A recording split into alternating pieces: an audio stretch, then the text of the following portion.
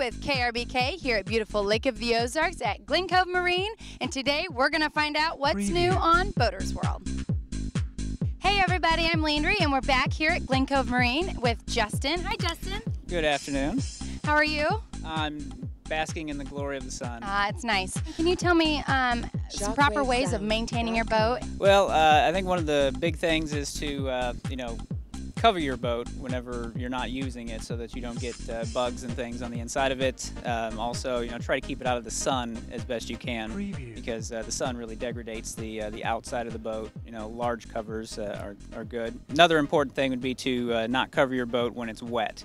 People will make that mistake. They use it, they cover it up without drying it out properly, and then it moisture builds up inside and gets seats and everything dirty inside of it. So And Justin, what are some safety tips or regulations that renters need to be aware of? Uh, I think the main thing is the uh, the new mandatory boater education law that uh, went into effect I think about four or five years ago. Anybody born January 1st, 1984 or after, um, if you want to operate a boat on any waterway in Missouri, you need to have this boater safety ID, which you have to take a course, basically. Uh, go online to the Missouri Water Patrol website, or the Coast Guard Auxiliary will also uh, give the course. So uh, if you want to rent a boat, drive a boat, anything, uh, at some point, everybody will have to have this boater safety card. So that's the one thing that I think people don't realize when they want to come down, rent a boat, drive their friend's personal watercraft, or anything like that. You need to need to take this safety course. It, uh, it is a law that's been in effect for a while now. Thank you, Justin, and thank you for joining us here at Glencove Marine for some great tips and information.